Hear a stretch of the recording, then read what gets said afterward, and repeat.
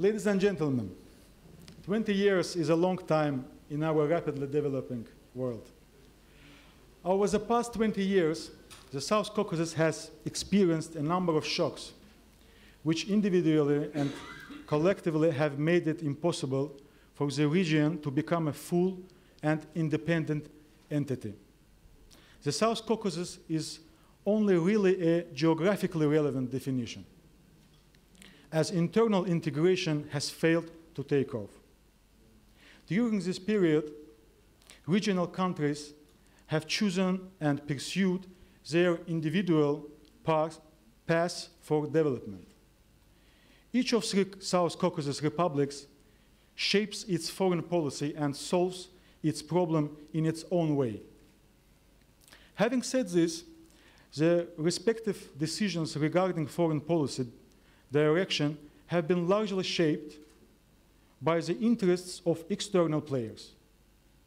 The United States appeared in the region at the collapse of the Soviet Union and filled the power vacuum left by the dissolution of the empire.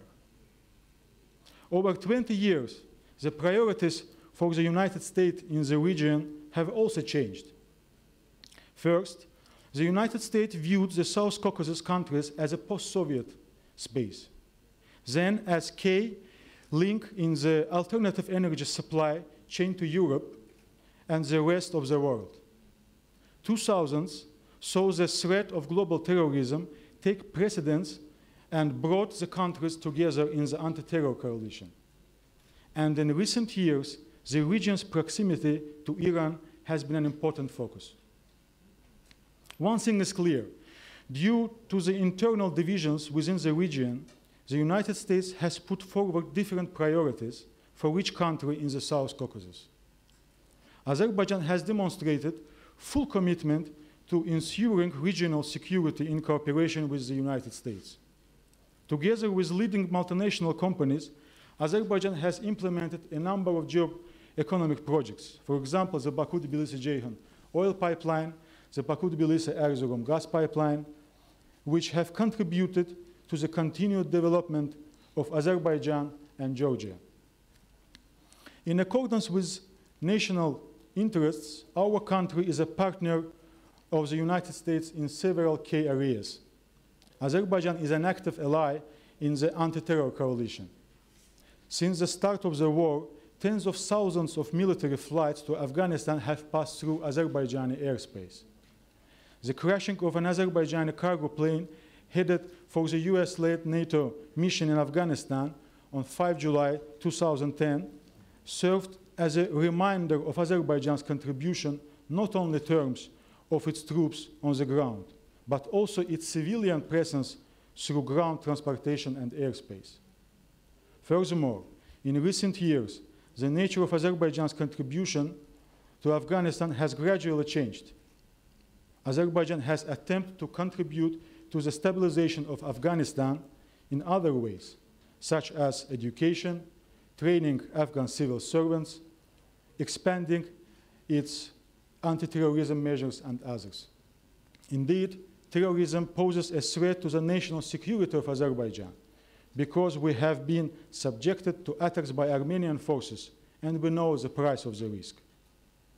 Azerbaijan provides for the energy security of America's closest allies, such as Israel, Georgia, Turkey, Italy, and others. Azerbaijan is seeking to play an active role in the formation of the Southern Energy Corridor. Azerbaijan serves as an example of an effective secular government in a Muslim country for other US allies. In addition, the pragmatic relationships with the United States can certainly be used as a model for relations with the Turkish states in Central Asia. Azerbaijan's growing economic power extends to the Black Sea Basin. Azerbaijan is an active investor in virtually all countries of the Black Sea. In the short term, our country's investments in the region will exceed the mark of $15 billion, which will have a positive impact on the economic situation of the regional countries. The recent statements by the President of Azerbaijan on doubling the country's GDP over the next 10 years and the vision for Azerbaijan's development in the decades ahead in view of regional and global trends demonstrates the country's ambitions. Over this time, Azerbaijan has asserted itself as a responsible and reliable partner. All this is a product of geoeconomic projects, some of which have been supported by the United States. In this context, the United States should focus on its interests in establishing long-term stability and security in the region. The biggest threat to the security of all three countries of the region is posed by unresolved conflicts. The separatism in Abkhazia and South Ossetia, along with the Armenian occupation of Nagorno-Karabakh, have posed obstacles to the integration of the region and the creation of a secure image for the South Caucasus. Azerbaijan has agreed to the co-chairmanship of the United States, Russia, and France in the OSCE Minsk group, as these countries are the most powerful and influential countries in the world and are all permanent members of the United Nations Security Council. Azerbaijan still hopes that these three co-chairs countries will respect their own decisions on the four UN Security Council resolutions. All three countries have opportunities to influence the aggressor country, but unfortunately, none of them is using this leverage. The vote of Azerbaijan resolutions at the United Nations General Assembly demonstrated how vulnerable the UN itself is in the process of conflict resolution. It's unclear how the leaders of the three co-chair countries can discuss improving efficiency of the world's most uh, respected organization, but on the other hand, take no specific steps to implement the four resolutions on the Nagorno-Karabakh conflict. It sometimes seems that Armenia's maximalist approach does not encounter any condemnation, while Azerbaijan's position of compromise is itself presented as maximalist, and we are the ones required to make further concessions. Also disappointing is the widespread use of balance between the parties. However, balance does not always equate to objectivity.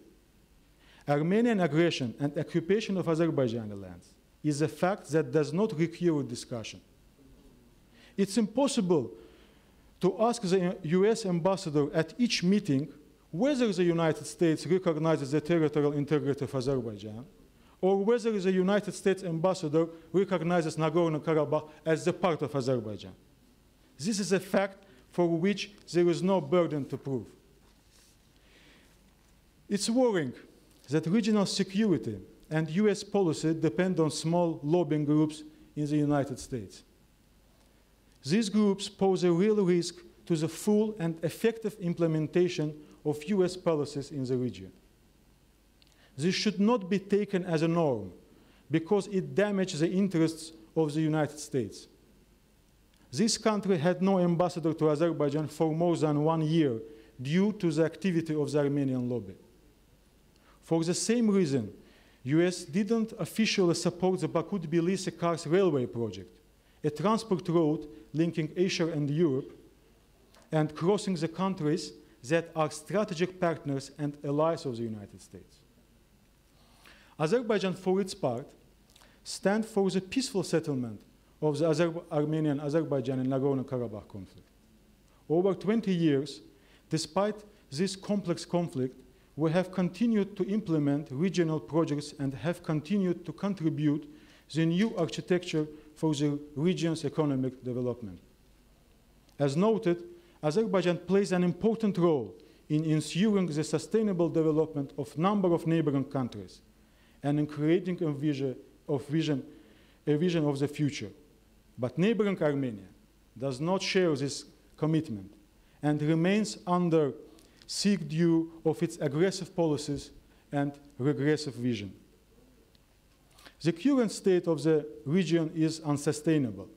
It's impossible to create favorable conditions for a secure future without influence and perhaps even pressure from outside. In our view, the United States is not active in this area. Statements that the resolution of the conflict depends on the free will of the parties are irresponsible. What free will can we speak of when the aggressor state of Armenia puts forward unreasonable demands and tries to maintain the status quo at all costs? The United States, as the most powerful country in the world, can and should play a responsible role in the settlement process. United States has provided more than $2 billion in assistance to Armenia over the past 20 years. These funds will never be returned to American taxpayers. But what is the benefit for the United States? Aside from the cultural center of Cafesjian in Yerevan, what opportunities for influence does the United States have in Armenia? Unfortunately, Armenia is losing its grip on its independence. This is recognized by the United States too, but the assistance to Armenia in this context is completely one-sided. Initiated and supported by the United States, the Armenian-Turkish normalization is an example of short-sighted Uh, policy in the South Caucasus. The desire to increase influence in Armenia has resulted in complete failure and the possible loss of the positive image of the United States in Azerbaijan. Today, one thing is clear. The opening of the border is impossible without the liberation of the Armenian occupied territories.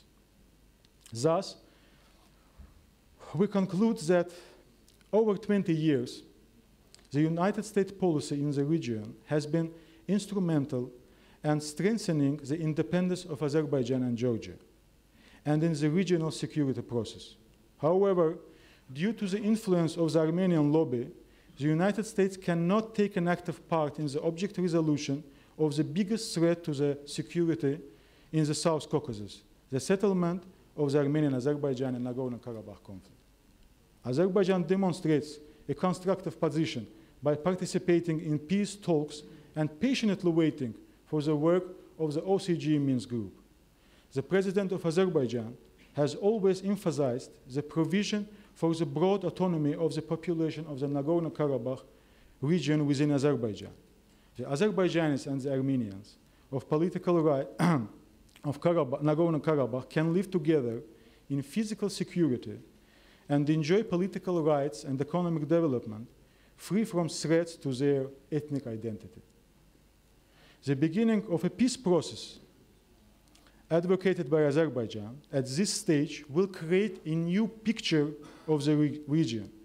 After the liberation of the occupied territories, the Armenian-Azerbaijani and the Armenian-Turkish border will be opened, and Armenia will be able to enjoy open borders, which promises a short-term 20% economic growth spurt. The status of Nagorno-Karabakh as part of Azerbaijan can be discussed for many years because the new picture of the region will create a new reality and strengthen the independence of Armenia. Under the circumstances, does the resolution of the conflict does pose a threat to US interests in the region? On the contrary, it will create conditions for the safe and successful development of the region where all countries will enjoy partnership relations with the United States. In conclusion, I would like to thank our speakers and guests for accepting our invitation to participate in the conference. Thank you.